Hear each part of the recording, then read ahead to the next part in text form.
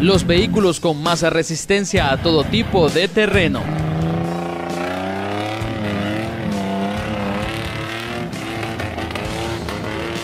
Automotores que están dispuestos a vencer cualquier obstáculo.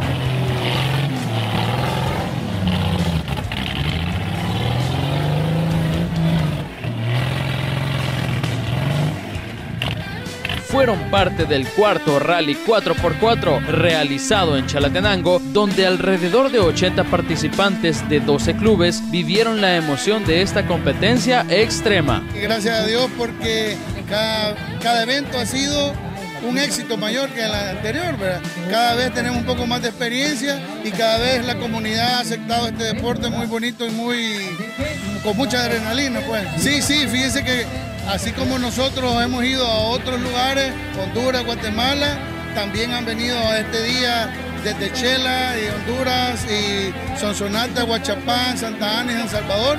Y también el deporte se ha sumado gente nueva, pues que es lo importante, que vienen a probar sus vehículos 4x4. Los invitamos que vengan sin miedo.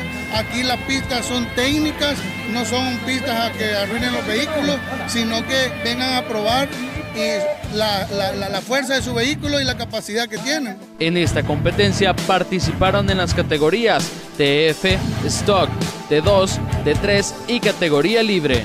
La verdad es que a eso venimos, a tratar de adquirir una experiencia nueva, a subir la adrenalina al tope y bajar con cuidado. Pues fíjese que me siento muy bien porque en realidad tenía muy buenos competidores. Nunca pensé llegar a, donde llegué.